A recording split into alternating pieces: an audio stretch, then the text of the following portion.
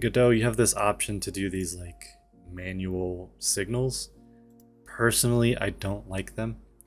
um, because sometimes you can get like some hidden functionality, something might be hooked up in a weird way.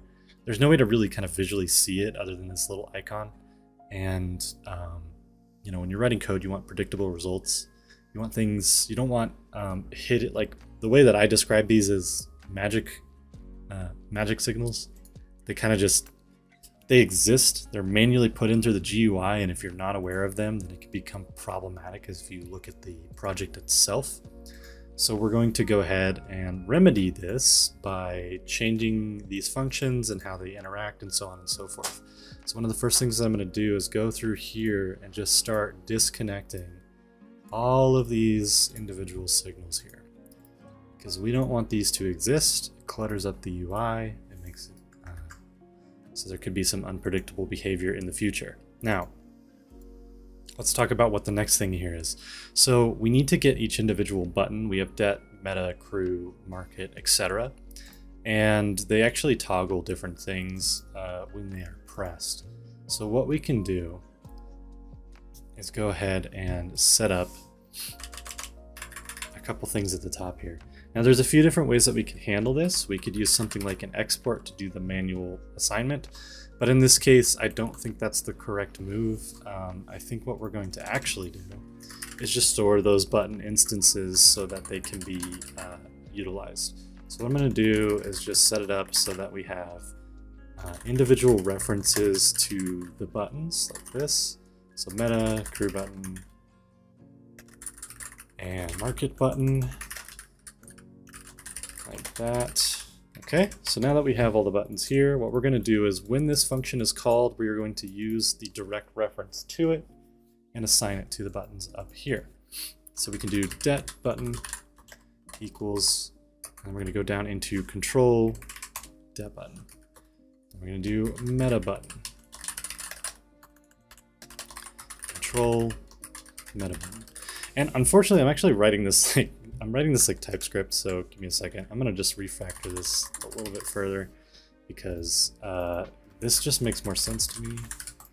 I I, I keep doing I keep writing everything like um, like I'm writing in other languages, and that's become problematic lately. But I'm still trying to uh, switch over to um, the standard that's been set for most of the Godot community and so on and so forth. But anyway, going on like that. Um, button crew, button market. And we'll just add that in there as well. Market button. Okay, great. All right, so why did we do this? Um, the reason why we did this is that so we only fetch the instance once and we're not calling it multiple times when the buttons or different buttons are pressed. So now that we have this set up, what we're going to do is, so we'll just call this like setup. Um, set up the variables for instancing, and then what we're going to do is just uh, set up the signals for handling button presses. Now, Normally what we were doing was like the signals over here, you go in here, you go to signals, you press the thing, you connect it to a specific function, so on and so forth. So we're actually going to change that so that it's um, very clear what is exactly happening here. So when we do button det and then on uh, our pressed, button det dot pressed, and it's supposed to be connect. Yep, and then what we're going to do, uh, there's actually a few different ways you can do this. You can also do it through connect like this. And then normally you can do like pressed and then call the function. So like on or handle det button. And we can rename this to handle det button. Just like that. And we can actually go through and just take a look, make sure it functions the way it should. Oh, we got a couple issues here. Oh, it's a texture button, not a regular. Okay, so let's go ahead and just change that. There we go. All right, so if I click on that, it opens it up. Great. All right, we just wanted to make sure that this specific signal is working the way that it should. And now we're gonna go through and just do the rest here, like this. Uh, this is gonna be button meta. Actually, we can just refactor like this, meta. crew and market and handle meta button, handle crew button, and handle market button. Now, um, you can kind of see there's like a few different patterns here for these like individual, like, oh, you turn this to visible, you turn that to visible, so on and so forth. There's actually kind of a better way we could go about making this uh, more performant for um, everybody. What we can do is instead of having all of these true, true, true, false, false, false, and every time we add a new option, we end up with, um, well, there's a lot of options. So what we're going to do is actually change it so that um, we essentially set up each one of these types, these sub-meta uh, scenes, to be assigned to a dictionary uh, when it's ready. And then we can control their individual visibility value based on that. So what we need to do is set up an identifier that belongs to each type of meta. Okay, so what we're going to do is we're going to make a small little enum here.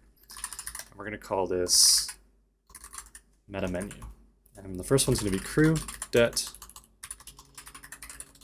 um, progress prog. I'm not sure what prog is actually. We'll just keep it as prog and then market. Prog is actually crew meta. No, crew det prog. Oh, so this is this is actually meta. We'll call this menus. All right. So we have menus, and we're going to make a dictionary, and it's going to be called uh, menu state, and it's just going to be let's clearly define it as a dictionary, and we'll put it in there like that. All right. So how is this going to work? Menu state needs to have information about um, what to show, if that makes sense. So we're going to do setup menu state, and we're going to fetch some things. We're going to do menu state uh, menus dot. Let's do the first one, which is det, and we're going to grab the reference to the debt menu. Okay, like that. And then we're going to do the same for everything else as well. So we're just going to copy that four times. We're going to do meta, crew, market, and then we're just going to change this. So it's going to be meta, crew, market. All right, so we have the menu state set up there. So we have like the individual nodes being referenced inside of the dictionary here. So again, we're fetching this once so it can be reused in a single component and we don't have to do these like crazy lookups into the, the child nodes and so on and so forth. Uh, so now inside of menu state, um, we're going to make a function that essentially just toggles based on the dictionary. So um, we're going to do toggle menu, right? And the big thing that we want to do here is we want to go through each um, each reference inside of the dictionary, like the individual values, and set all of their visibility to false. And then when we're done, we're going to set the one that we actually want to trigger uh, to true. So I hope that makes sense. But anyway, I'll show you how it works. So, so we're going to do for uh, value in um, menu state dot values. We're going to go through and loop through each one and then we're going to do value.visible equals false. And as a final quick thing, what we'll do is at the end of it, uh, we need to pass, um, well, the, the name of the one we want to toggle. So this needs to be a, uh, uh, like the, or not a value, but an ID of menus. Okay. And then we're going to do menu state oops, sorry, menu state id dot visible equals true. Right, so the way that this works is that now I have this wrapper that sets every single menu to false and their visibility will just automatically be set to false. And when we switch menu, it'll be set to true uh, just specifically for the one that we're looking for. Um, so now we can do, instead of having like all this crazy um, code here, down here, we can actually uh, make it very straightforward. Um, so instead of having individual functions, which you know it's it's nice to look at, but we can actually we don't need it. Um, it's completely unnecessary. So we can actually just do an inline function like this, where we do toggle menu, and then we just pass menu dot det, right? And then that means that we can get rid of this. It's all gone. Like that entire function is pretty much gone. Um, this actually needs to be menus, not menu. So we're gonna do that for the rest of these real quick, and should be pretty pretty brief here. Just gonna copy and paste it like this. Then we do meta crew and market, right? And then we can get rid of all of these functions, except for that last piece that I accidentally deleted. All right, so we've reduced the lines of code uh, inside of this pretty significantly. Um, we've reused everything that we can reuse. I don't really see any additional patterns other than this one, which is a little interesting, but not too worried about that. Uh, we don't need processing here, so we can reduce this further. And we have now reduced the code down to uh, practically nothing. But let's go ahead and just test it real quick and see what that looks like. Okay, so this is what it looks like in game. So if I click on these, it looks like we have a little bit of an issue here, and it's because it's setting it to a null instance. Menu state, value. So let's go ahead and debug this and see what I did wrong. Because the code is generally pretty much in the right direction, but it doesn't seem to be fully correct. So let's go ahead and log through that. That is an object of null. We are doing menu state menus.det. Uh, we're looping through each one, but for some reason that's null. That's interesting. Um, we're passing a value. Let me just see what ID is being passed here. Output. So yeah, we're seeing the individual value there. Um, let's see, menu state dot values for value in menu state values. That's supposed to be assigned to submeta and then submeta.det meta. Ah, well that's part of it. That's actually submeta dot prog. We can actually just rename this. Let's just actually make this meta. Maybe we're just clicking on the one, the only one that may not have worked. So let's go ahead and refresh here real quick. Debt, meta, crew, market. Right, all right, so we went through and debugged that. Let's go ahead and remove the print value here because that worked the way it should. And as you can see, everything now works uh, exactly how it should.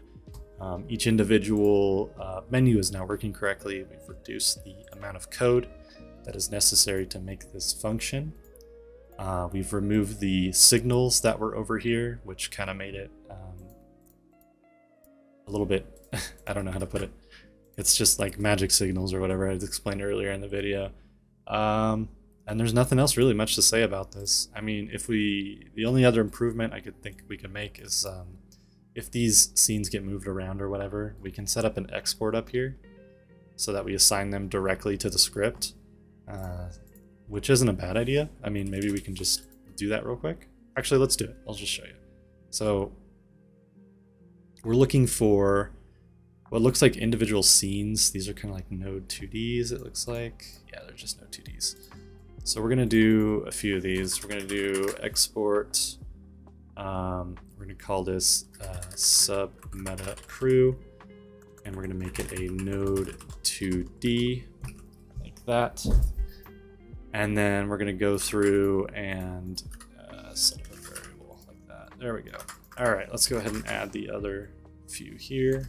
Det, meta, and market. We should be able to export like that.